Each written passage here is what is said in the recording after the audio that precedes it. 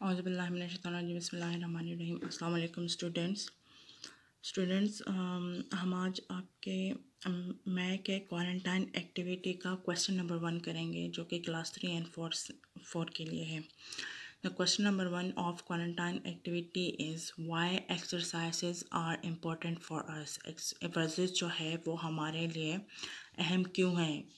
ये वर्जिश करना हमारे जिसम के लिए क्या अहमियत रखती है, हमारे सेहत के लिए ये क्या रोल अदा करती है?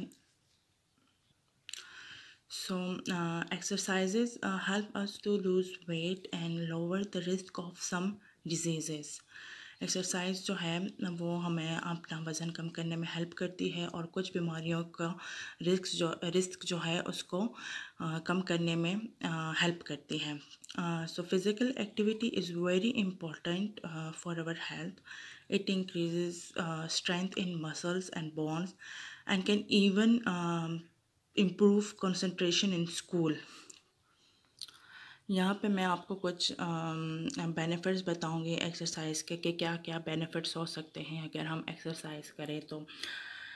The first one is it can make us feel happier ये हमें खुश रखने में मदद करती है। It can help with weight loss it is good for our muscles and bones it can increase our energy level ये हमारा हम जो एनर्जी लेवल है उसको बूस्टअप करने में मदद करता है।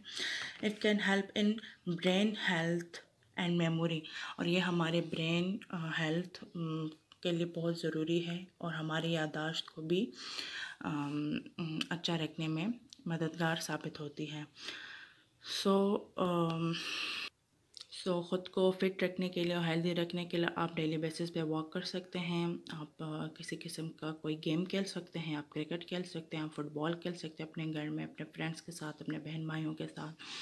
तो ये भी एक किस्म की एक्सरसाइज होती है जो आपकी फ़िज़िकल एक्टिविटीज़ होती है आपकी जो गेम्स होती हैं ये भी एक किस्म की एक्सरसाइज होती है। So stay home stay safe goodbye